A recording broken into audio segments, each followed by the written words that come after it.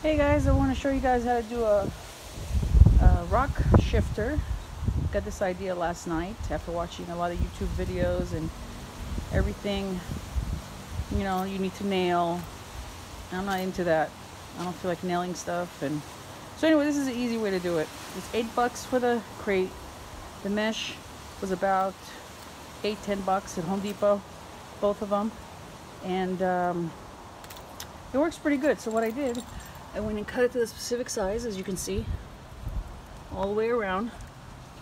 Pretty easy. And then I use zip ties, as you can see right here.